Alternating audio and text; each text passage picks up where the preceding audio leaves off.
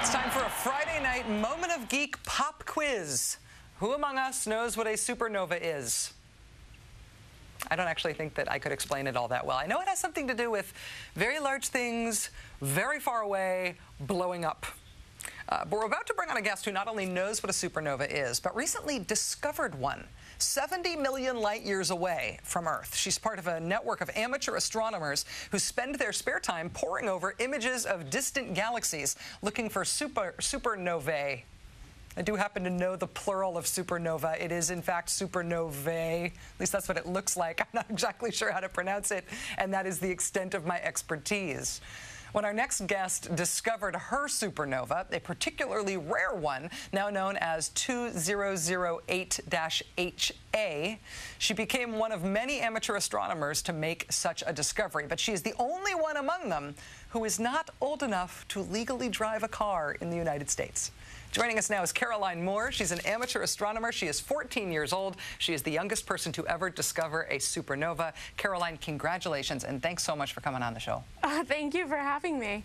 Um, what, what is a supernova?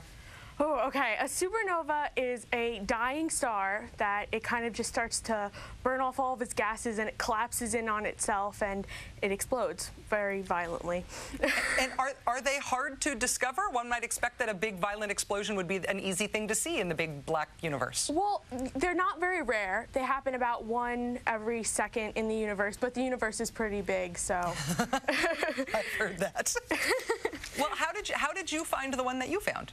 Um, well, I belong to the uh, Puckett Supernova search team, and we look for them. So, like half of our search team, um, they take the pictures with their really, really ginormous big telescopes, which are in their backyard, and um, then they send me the pictures, and I look for the supernovas in them.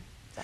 And the, the telescope that you have there, A, it's very cool that it's pink, and B, I'm guessing that is not that's not the telescope that you use to that's that's not the kind of telescope that you find these things with, right? Uh, no, it's it's it's the same kind, but it's definitely a lot bigger, and not pink. I understand. Although you never know. Um, how how is the supernova that you discovered different from the other ones that had been discovered before? I understand this is a really unique type of thing that you found. Well, uh, yeah, back in I would say uh, December, we found out that it was the least luminous supernova ever to be observed, which was pretty interesting. And then we found out that there's this crazy scientific reason behind why it's so dim. And there's different scientific papers arguing uh, why it's so strange. Some are saying that it's a cross between a supernova and a nova. Nova is, like, is is much dimmer than an actual supernova. So they're saying it might be a cross between that, which would be something that's really never been seen before. So. So you might have been, you might have found something that's going to be a whole new category of space thing. Yeah, that's what they're saying. That's what the scientists are saying. So let's see. Are, I, I hope so. are you going to make them name it a Caroline?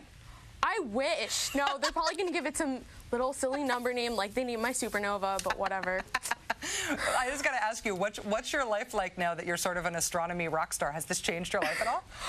Um, well, kids at school, there's a combination between like maybe a little bit of jealousy, and then there's, you know, my friends all tease me like, oh, what's going to be next, really? When This was in November. When is it ever going to end? So, but it's a lot of fun, definitely. Yeah. Do you think, do you think you're going to end up being a scientist? Um, well, I definitely love science. I love medicine. I also sing. I'm classically singing, so you know, I I don't know. I'm not sure at this point. I'm 14. I have some ideas, but I'm not I'm not definitely sure yet. well, Caroline Moore, um, I think that you're very cool, and I think that you're very cool, particularly in comparison to how lame I was when I was 14. So, uh, congratulations on being the um, the youngest supernova discoverer ever, and, and good luck to you. It's been great to meet you. Oh, thank you. Nice meeting you too.